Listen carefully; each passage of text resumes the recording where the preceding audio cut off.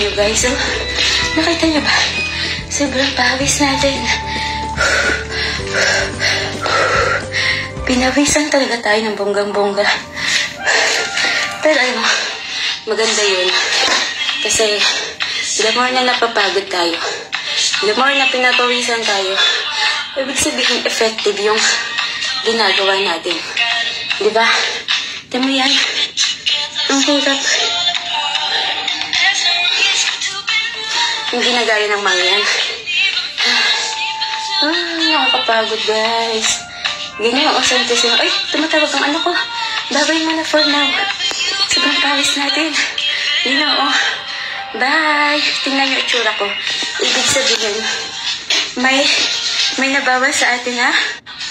Na taba.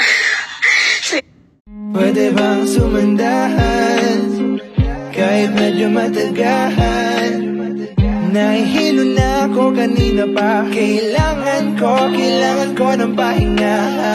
Ako'y hindi mapakali